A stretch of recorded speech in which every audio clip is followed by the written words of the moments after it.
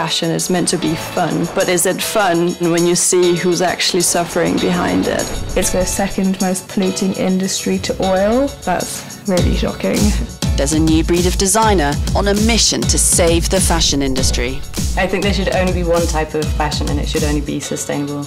Join them on the front line at the EcoChic Design Award. There's a maturity in the ideas that I actually wasn't expecting. With a lot at stake, who can cut waste out of fashion forever?